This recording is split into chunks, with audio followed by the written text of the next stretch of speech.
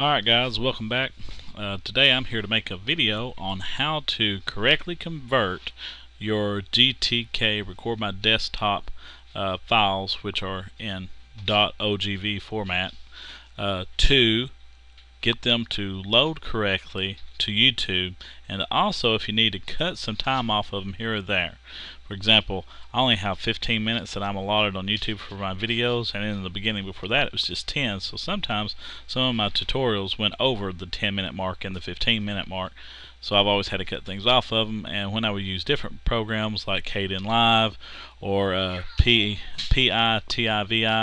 uh, and lives, I will lose quality in my videos. Well, I found out one way that I can do this without losing the quality of the OGV form, format, the original format. Uh, and that's to do, to do this. I use a program that's called DeVeDe. Now this is after I have saved the OGV file to the desktop. I will click on the DeVeDe program and then I will scroll to the bottom and click DivX MPEG 4. After that, I will simply just drag and drop the OGV format in there and then all I will do is I will not change anything and I will just hit you know look at the options. Anyway anyway I will just go ahead and hit uh, forward. And then it will ask me if I want to save uh, this conversion to the desktop in a folder called movie. And I'm going to go ahead and tell it sure. Now usually this takes about as long as uh, time is on the video. So if it's a minute long video it takes a minute to do this. Now if your video is not really really uh, long then this is the best way to upload it straight to YouTube and you have not lost any uh, clarity in the file at all and I'll show you this in just a second. Okay, I'm going to close this down and ask me if I want to abort. I've already completed the conversion so I'm going to say yes. Okay, let me open up the movie folder. I'll drag and drop this right here. Now, let's look at these two. Now here is the video from the OGV file. I'm going to click on it so you can see how clear it is. Alright, now look, I'll full screen it. Now you see how clear this is? Very clear. Okay. Now, next thing I'm going to do is I'm going to show you the AVI that I created with DeVeDe. Okay, I'm going to show its clarity. That way you can surely see that no quality has been lost. Okay, very clear. Alright, now I'm done. Now, let's just say that I've got a problem, my video is too long, then the program that I'm going to use to chop off some time, maybe in the beginning or maybe somewhere in the middle or somewhere like that, um, you know, I just need to shorten it down because I went over my 10 minutes or I went over my 15 minutes for YouTube. Then I want to use a program, I'm going to get rid of this folder. I want to use a program called I'm not, I'm not sure how to pronounce it, but it's uh, Avid uh, Mix or Mux. So I'm going to click on that. Sorry for the uh, incorrect pronunciation, so don't get mad at me. Okay. Next thing I'll do is I will drop the AVI into here. It's going to ask me if I want to uh, build the VBR timestamp. I'm going to say build it. Okay, and there that is. It's uh, it's you know already loaded it in there for us now one thing that I have problems with is you know when you start clicking in here things start jumping around uh, and it gets aggravating at first but you try to get used to it alright but I need to change the view size of this so I can get to everything that I need to get to. So I'm going to go to view. Now notice when I clicked on view or anything at the top it jumps on me. So I'm going to just keep the mouse where it's at and click one more time. Boom there it is. I want to change it to a zoom of 1 to 2 now that will shrink it down and then uh, you don't see anything at the bottom. I'm just going to click again and it will appear down there.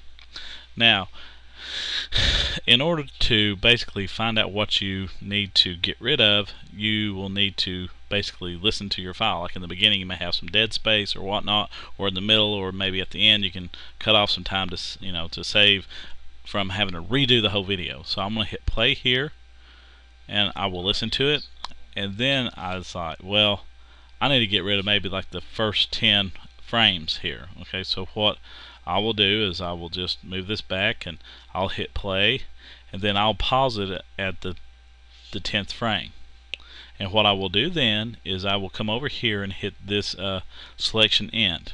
Okay boom there that is. Now notice it highlights that little section there. Next thing that I'm going to do is I want to hit delete. Okay. Now notice that the time went down from 14 excuse me went down from 15 down to 14 now I can show you that okay? I'll go back up here and tell it to reset itself. Okay notice that it's back to 15 seconds here I'm going to take off 10 frames. So roughly 10 frames is a second okay?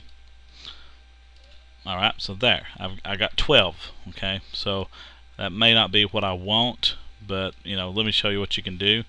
You know you stop it notice it's at 12 again. I need to go back a little bit. You can use these buttons here to force it to go back. Whoops my bad. Let me go past that again. Pause it you can use these buttons right here to go back a little bit in time. I'm gonna go back to the 10 second mark that I want. I will hit the B selection. It'll highlight it. Then I'll just press the delete button uh, on the uh, keyboard and it deletes it. And notice that my video is now down to 14 seconds versus uh, uh, you know 15 it's went down to 14 now to save this okay. Uh, there was another video that I watched that a guy did this and I cannot remember his name but he was very helpful and he helped me and I gave this a try and it worked for me. So uh, this is what I do. This is what I choose. Uh, up here in the top um, it has auto okay? What I uh, suggest you to do is find the FLV okay? Click that and notice it will automatically set these over to the side for you okay so we're pretty much done with that. Uh, the next thing that we need to do is um, click save to save the file.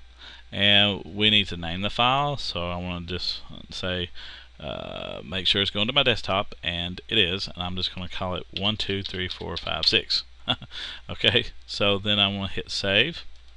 Now remember this is going to be encoded as an FLV and it tells you everything that it's doing right here okay and um, you should be very happy with the result I mean I was and I'm so happy that I want to make sure that uh, I upload my other videos this way to YouTube if I need to edit them. And this actually goes pretty fast.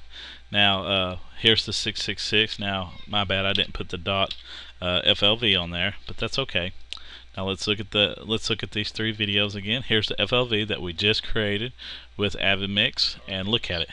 It is very, very, very, very clear. So I recommend using this. So um, I hope those of you that have done screencasts in the past and you've been frustrated with uh, GTK because you've actually went over just by a minute or two or a few seconds and you couldn't upload your video because of the time restrictions that this could come in handy for you. Uh, and if all else fails, out of all the other converters that I've used and editors, uh, the easiest one, even though you lose a lot of clarity, uh, to use with the OGV file straight itself is the P uh, PITIVI uh, video editor. It's actually the best to use with the OGV file because the others do not support it. Anyway, I hope this uh, little tutorial was uh, helpful and um, let me know if it was. Alright.